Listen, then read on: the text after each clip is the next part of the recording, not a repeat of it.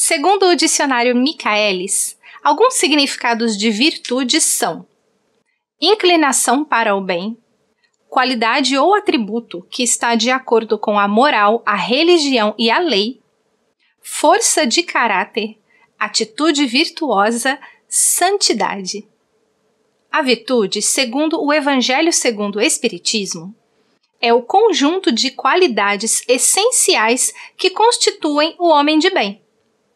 Assim, se almejamos que nossas crianças e jovens cresçam pessoas de bem, precisamos auxiliá-los na medida do possível a vencer as suas falhas e os seus defeitos.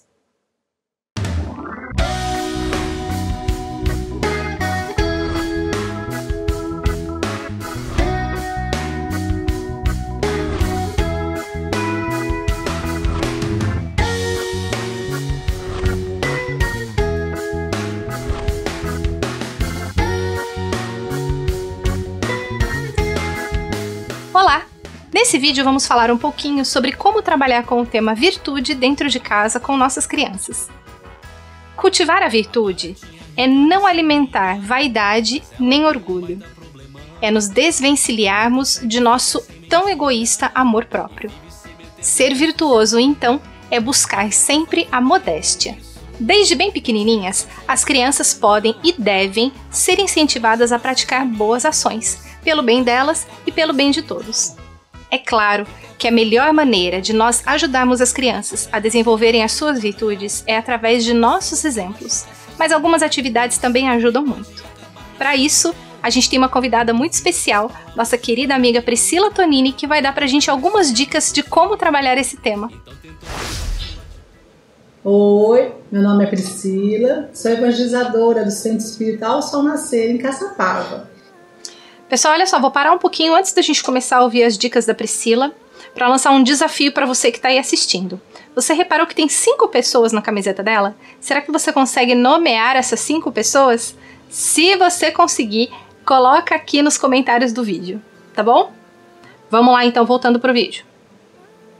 Hoje nós vamos fazer uma atividade que a gente fez com as crianças da evangelização lá na nossa casa, né, no Sol Nascer, e que deu muito certo, foi muito legal, as crianças gostaram bastante.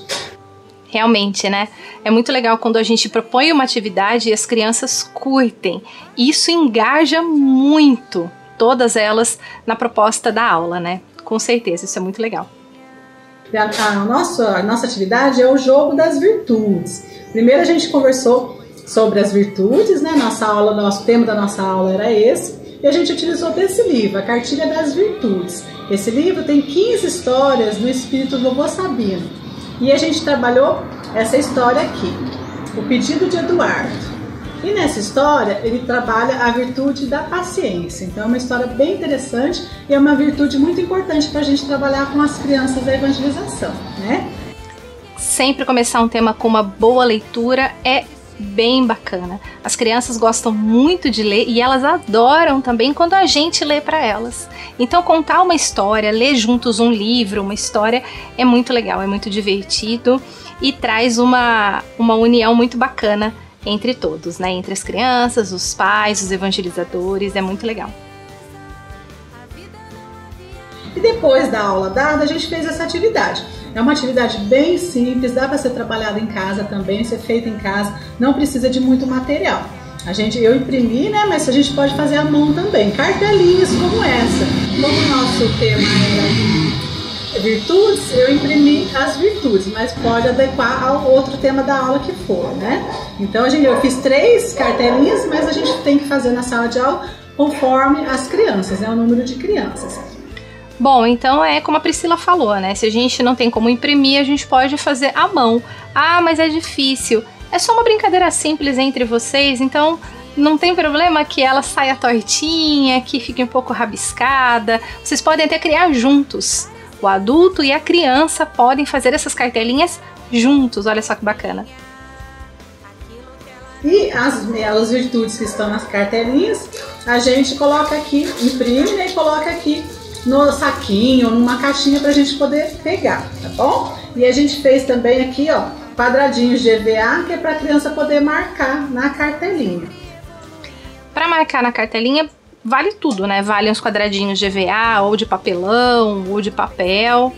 Valem feijões, mas aí, é claro, depende da idade da criança. Crianças muito pequenas podem engolir, colocar no nariz, então é perigoso, é melhor evitar. Feijões deixa para os mais velhos. Ou então pode ser até uma canetinha, um lápis de cor, marca na, na cartela a virtude que foi falada. É que aí, nesse caso a gente acaba inutilizando aquela cartela, né? Se a gente simplesmente colocar a fichinha em cima, acaba podendo reaproveitar o material depois. Então a gente vai sortear uma palavrinha e cada palavrinha que a gente sortear, nós vamos conversar sobre ela, né? Então, por exemplo, aqui caiu amar a Deus. Então a gente vai conversar com as crianças sobre amar a Deus, o que, que a gente já fez sobre esse assunto, sobre esse tema, né? O que, que eles já eles pensam sobre esse tema. E aí a criança vai marcar com um quadradinho de EVA na sua cartelinha, tá bom? No final da aula, a gente distribuiu balas e bombons para as crianças. Nossa, que delícia! Distribuir balas e bombons para as crianças. As crianças adoram docinho, né? A gente pode fazer isso no final da brincadeira, ou a gente pode fazer isso durante a brincadeira. Imagina que gostoso abrir um pacote de bala ou estourar uma pipoca para ir comendo enquanto a gente brinca. Divertido, né? Porque a intenção da aula não era, não é de competição, né? O do jogo. A intenção é de aprendizado e de diversão, tá bom? Então eles gostaram bastante dessa aula, foi uma aula bem produtiva e dá para adequar a outros temas também, tá bom? Eu espero que vocês tenham gostado dessa atividade e eu agradeço a oportunidade ao Anima, ao, ao Elton e à Malu, tá bom? Tchau! Puxa, Priscila, que maravilha! A gente que te agradece pela sua participação e pela contribuição que você deu aqui pra gente. Com certeza vai ajudar muitos evangelizadores por aí. Bom, e a gente trouxe aqui mais duas ideias para você fazer com esse sorteio das virtudes. Para isso você vai precisar de bexiga, arroz e tirinhas de papel. Então aqui, olha só, você vai precisar de uma caixa do tamanho que você quiser e arroz. Aí a gente coloca o arroz dentro da caixa. Isso aqui é uma delícia para você ficar simplesmente assim, ó, manipulando. Isso aqui, como a gente vai ver no nosso próximo vídeo, acalma muito. E aí, nas tirinhas de papel, nós vamos escrever as virtudes. Então aqui eu vou escrever bondade, por exemplo. Numa outra tira de papel eu vou escrever paciência. E assim por diante. Eu vou colocar quantas virtudes eu quiser nas minhas tirinhas de papel, tá? Assim. Essas tirinhas eu vou esconder no arroz. Então a gente vai colocar do jeito que você quiser dentro do arroz. coloca lá no fundo, tampa, coloca outra pra cá, tampa. E a brincadeira vai ser procurar pelo arroz a tirinha. Achou? Paciência. Aí vai lá na fichinha que a Priscila mostrou e marca com o feijãozinho, com uma caneta, com o que for, a palavra paciência e aí pode conversar um pouco sobre ela. Depois vai para a próxima. Vai no arroz de novo. Procura. Achei. Bondade. Mesma coisa, se eu tiver na minha fichinha, eu marco e aí a gente pode conversar sobre a bondade. E uma outra maneira também muito divertida, muito barulhenta, é a da bexiga. Eu posso escrever a virtude, dobrar o papelzinho bem dobradinho e colocar dentro de uma bexiga vazia.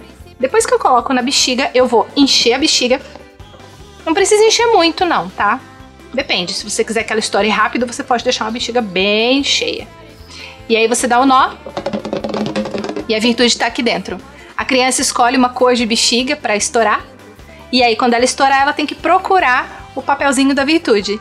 Novamente, achou, marca na fichinha e aí conversa sobre ela. Lembrando de depois juntar todos os pedacinhos de bexiga para jogar no lixo. E aí, gostou dessas ideias? Então lembra de curtir aqui o nosso vídeo e de se inscrever no canal e também de compartilhar com seus amigos. No próximo vídeo nós vamos falar de um assunto muito importante: estresse infantil. Como é que nós podemos ajudar as nossas crianças, os nossos jovens e até a nós mesmos a cuidarmos da nossa saúde mental com atividades muito simples e muito gostosas para a gente fazer em casa? Fica ligado!